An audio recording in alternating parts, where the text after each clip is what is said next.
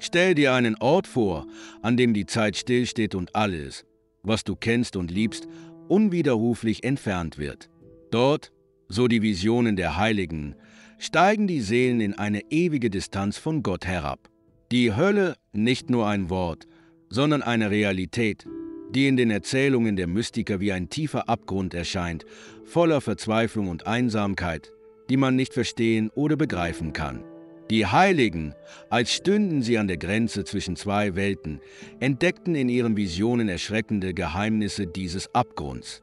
Es ist kein Märchen oder eine Metapher, es ist eine Warnung, die zu fließen scheint über Zeit und Raum hinweg, an jeden, der sich traut zuzuhören.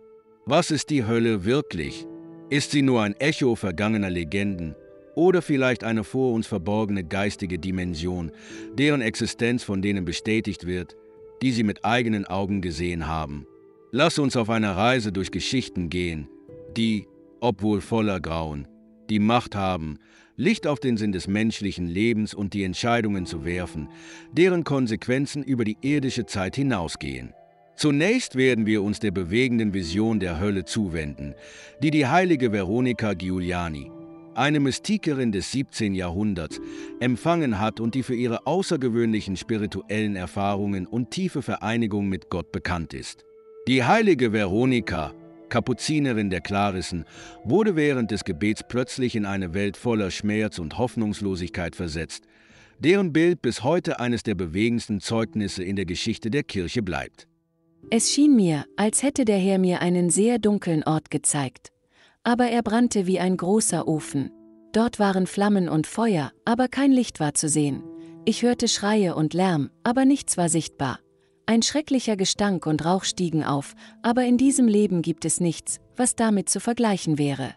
In diesem Moment übermittelte mir Gott die Botschaft von der Undankbarkeit der Geschöpfe und wie sehr es ihm leid tat über diese Sünde. Und hier zeigte er sich mir ganz in der Passion, ausgepeitscht, mit einer Dornenkrone, mit einem lebendigen, schweren Kreuz auf der Schulter. So sprach er zu mir, sieh und schaue gut auf diesen Ort, der niemals enden wird. Dort steht, zu meinem Leiden, meine Gerechtigkeit und strenges Unmut. In diesem Augenblick schien es mir, als hörte ich einen großen Lärm. Viele Dämonen erschienen. Alle hielten mit Ketten gefesselte Bestien verschiedener Artikel. Diese Bestien verwandelten sich in einem Moment in Geschöpfe, Menschen, aber so erschreckend und hässlich, dass sie mich mehr erschreckten als die Dämonen selbst. Ich zitterte ganz und wollte dorthin gehen, wo der Herr war. Leider konnte ich mich nicht nähern. Der Herr war blutdurchtränkt und stand unter dieser großen Last. O Gott! Ich wollte das Blut aufheben und dieses Kreuz tragen, und mit großer Unruhe wünschte ich mir, den Sinn all dessen zu erfahren. In einem Moment nahmen diese Geschöpfe wieder die Gestalt von Bestien an und wurden dann alle in diesen sehr dunklen Ort geworfen. Hier ergriff mich eine Erhebung, und es schien mir, dass der Herr mir zu verstehen gab, dass dieser Ort die Hölle war und dass diese Seelen tot waren und durch die Sünde zu Bestien geworden waren, und dass auch unter ihnen Mönche waren. Ich hatte das Gefühl, an einen verlassenen, dunklen und einsamen Ort versetzt zu werden, wo ich nur Schreie, Geschrei, das Zischen von Schlangen, das Rasseln von Ketten, Rädern, Eisen und Fässern hörte, so groß, dass es mir bei jedem Schlag schien, als würde die ganze Welt untergehen. Und ich hatte keine Hilfe, an die ich mich wenden konnte. Ich konnte nicht sprechen, ich konnte den Herrn nicht einladen. Ich dachte, dass dies ein Ort der Züchtigung und des göttlichen Unmuts über mich für viele Übertretungen war, die ich gegen seine göttliche Majestät begangen hatte. Und ich hatte alle meine Sünden vor mir. Ich fühlte ein brennendes Feuer, aber ich sah keine Flammen, nichts außer Schlägen über mir, ich sah niemanden. Nach einer Weile spürte ich, wie die Flamme des Feuers sich mir näherte und ich fühlte Schläge auf mich, aber ich sah nichts. Oh, was für eine Qual! Ich kann es nicht beschreiben, und selbst die bloße Erinnerung daran lässt mich zittern. Schließlich, inmitten solcher großer Dunkelheit, schien es mir, als würde ich ein kleines Licht sehen, wie in der Luft. Es dehnte sich allmählich so weit aus. Es schien mir, dass es mich von solchen Schmerzen befreite, aber ich sah nichts weiter. Im nächsten Augenblick fand ich mich in einer niedrigen, schwarzen und stinkenden Region wieder, voll von dem Brüllen von Stieren, dem Heulen von Löwen, dem Zischen von Schlangen. Ein großer Berg erhob sich steil vor mir und war ganz mit Basilisken bedeckt, die zusammengebunden waren. Der lebende Berg war ein Lärm schrecklicher Flüche. Es war die obere Hölle, das heißt die mildere Hölle. Tatsächlich öffnete sich der Berg weit, und an seinen offenen Seiten sah ich unzählige Seelen und Dämonen, die in Feuerschlingen gefesselt waren. Die Dämonen, äußerst wütend, quälten die Seelen, die aus Verzweiflung schrien. Hinter diesem Berg folgten andere, noch hässlichere Berge, deren Eingeweide die Szene fürchterlicher und unbeschreiblicher Qualen waren. Am Grund des Abgrunds sah ich einen monströsen Thron, erbaut aus erschreckenden Dämonen. In der Mitte stand ein Stuhl, gebildet aus den Köpfen des Abgrunds. Satan saß darauf in seinem unbeschreiblichen Schrecken und beobachtete von dort alle Verdammten. Engel erklärten mir, dass die Vision Satans die Qual der Hölle schafft, so wie die Vision Gottes die Wonne des Himmels erschafft. In der Zwischenzeit bemerkte ich, dass die stumme Polsterung des Stuhls Judas und andere verzweifelte Seelen wie er waren. Ich fragte die Engel, wessen Seelen das waren, und erhielt diese schreckliche Antwort. Es waren Würdenträger der Kirche und Prälaten der Orden. Und in diesem Abgrund sah ich den Regen fallender Seelen. Ich hörte Schreie, klagende Stimmen, Blasphemien und Flüche gegen Gott. Ich sah Ungeheuer, Schlangen, grenzenlose Flammen. An einem noch tieferen Ort befanden sich Tausende von Seelen, es sind die Seelen der Mörder, über denen eine Fackel mit einem riesigen Rad schwebt. Das Rad dreht sich und bringt die ganze Hölle zum Beben. Plötzlich fällt eine Presse auf die Seelen und reduziert sie fast zu einer, so dass jede an der Strafe der anderen teilnimmt. Dann kehren sie zurück wie zuvor. Es sind einige Seelen mit einem Buch in den Händen, die Dämonen schlagen diese Seelen mit feurigen Stangen auf den Mund, mit eisernen Keulen auf den Kopf und durchbohren die Ohren mit scharfen Dornen. Es sind die Seelen dieser religiösen Schurken, die die Regel zu ihrem eigenen Nutzen angepasst haben.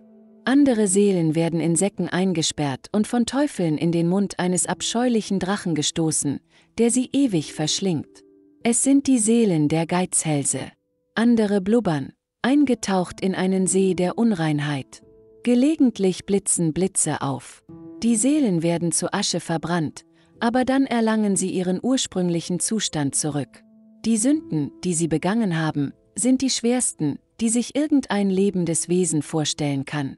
Alle Straßen der Hölle sind mit Rasierklingen, Messern und scharfen Macheten gesät. Und Ungeheuer, überall Ungeheuer. Und die Stimme, die schreit. Es wird immer so sein. Immer, immer, ich wurde vor das Angesicht Luzifers geführt. Er umgibt sich mit den gnädigsten Seelen, die nichts für Gott zu seiner Ehre getan haben. Und er hält sie unter seinen Füßen, wie ein Kissen, und schlägt ständig die Seelen derjenigen, die in ihren Gelübden versagt haben.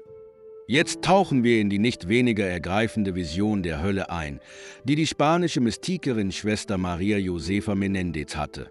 Sie war eine junge Nonne aus dem frühen 20. Jahrhundert, deren mystische Erfahrungen aufgrund ihrer realistischen und detaillierten Beschreibung besondere Bedeutung erlangten.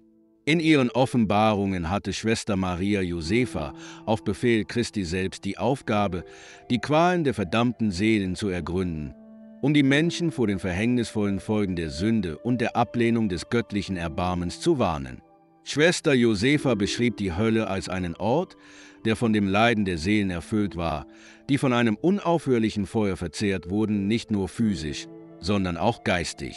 Ihren Worten nach war die größte Qual in der Hölle das Bewusstsein der eigenen Wahl. Die Verdammten ertranken in Trauer und Hass, unfähig, ihre Entscheidungen zurückzunehmen, die sie für immer von Gott getrennt hatten. Schwester hörte ihre zerreißenden Stimmen, voll von Vorwürfen und grenzenloser Verzweiflung und ihre Flehen um Hilfe blieben unbeantwortet.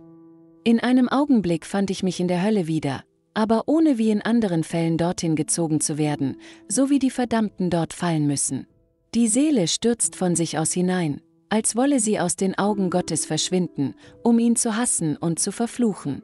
Meine Seele fiel in den Abgrund, dessen Boden nicht sichtbar war, da er gewaltig war. Ich sah die Hölle wie immer, Höhlen und Feuer. Obwohl keine körperliche Gestalt zu sehen war, zerfetzten die Qualen die verdammten Seelen, die sich kannten, als ob ihre Körper anwesend wären. Ich wurde in eine feurige Nische gestoßen und zerdrückt, als wäre ich zwischen glühenden Platten und als würden glühende Nadeln und scharfe Punkte in meinen Körper eindringen. Ich fühlte mich so, als würde man mir vergeblich die Zunge herausreißen, was mich bis zur Grenze des Aushaltbaren brachte, mit furchtbaren Schmerzen. Ich hatte das Gefühl, meine Augen würden aus ihren Höhlen treten, wahrscheinlich wegen des Feuers, das sie schrecklich verbrannte. Man kann keinen Finger rühren, um Erleichterung zu suchen oder die Position zu wechseln. Der Körper ist, als wäre er zusammengedrückt. Die Ohren sind wie betäubt von den erschreckenden und verwirrenden Schreien, die keinen Moment aufhören. Alle werden von einem brechreizenden Geruch und dem Gestank der Enge überwältigt, als würde man verrottende Körper mit Pech und Schwefel verbrennen. All dies erlebte ich wie bei anderen Gelegenheiten, und obwohl diese Qualen schrecklich sind, wären sie nichts, wenn die Seele nicht leiden würde. Sie leidet jedoch unbeschreiblich aufgrund der Abwesenheit Gottes. Ich sah und hörte, wie einige dieser verfluchten Seelen wegen der ewigen Qualen, die sie ertragen müssen, schrien, besonders ihre Hände. Ich glaube, dass sie zu Lebzeiten gestohlen haben, denn sie riefen, Verfluchte Hände, wo ist jetzt das, was ihr genommen habt? Andere Seelen, die schreien, beschuldigen ihre Zungen oder Augen. Jeder das, was die Ursache seiner Sünde war. Jetzt zahlst du schrecklich für die Vergnügungen, die du dir gegeben hast, o mein Körper. Und du, o Körper, hast das gewollt. Für einen Moment des Vergnügens, eine Ewigkeit des Schmerzes. Mir scheint, dass in der Hölle die Seelen sich besonders für die Sünden der Unreinheit beschuldigen. Als ich in diesem Abgrund war, sah ich, wie unreine Menschen nach unten fielen, und man kann die schrecklichen Schreie, die aus ihren Mündern kamen, weder sagen noch verstehen. Ewige Verdammnis. Ich habe mich betrogen. Ich bin verloren. Ich werde hier für immer sein, für immer, für immer, und es wird kein Heilmittel mehr geben. Ein junges Mädchen schrie vor Verzweiflung und verfluchte die böse Befriedigung, die sie ihrem Körper im Leben gegeben hatte, und verfluchte ihre Eltern, die ihr zu viel Freiheit gegeben hatten, den Moden und weltlichen Vergnügungen zu folgen. Alles, was ich geschrieben habe, ist nur ein blasser Schatten im Vergleich zu dem, was man wirklich in der Hölle leidet. Am Ende bleibt eine entscheidende Frage. Was werden wir mit dem tun, was wir gehört haben? Die Visionen der Heiligen über die Hölle sind nicht nur farbenfrohe Bilder oder Produkte der Vorstellungskraft. Sie sind eine tiefgreifende Warnung von jenen, die die Grenze des Sichtbaren überschritten haben, um uns die Mahnungen von jenseits zu übermitteln. Die Hölle, so erschreckend sie auch ist, bleibt eine Konsequenz des freien Willens, eines Geschenks, das jeder von uns von Gott erhalten hat. Seine Liebe ist unendlich, aber er respektiert unsere Entscheidungen, selbst wenn sie zu einer ewigen Trennung von ihm führen. Existiert die Hölle? Angesichts so vieler Zeugnisse scheint die Antwort mehr als offensichtlich. Doch nicht allein die Existenz der Hölle ist am wichtigsten, sondern dass jeder von uns die Wahl hat, jeden Tag, in jeder Handlung, in jedem Wort. Es liegt an uns, ob wir den Weg einschlagen, der zum Licht und zur Liebe führt, oder ob wir uns von den Entscheidungen verführen lassen, die uns von Gott entfernen. Im Endeffekt werden unsere Taten, Worte und Entscheidungen gerichtet und die Konsequenzen tragen wir selbst. Möge dies unsere Reflexion sein. Die Hölle ist kein Schicksal, sondern eine Wahl, die in der Stille des Herzens eines jeden Menschen getroffen wird.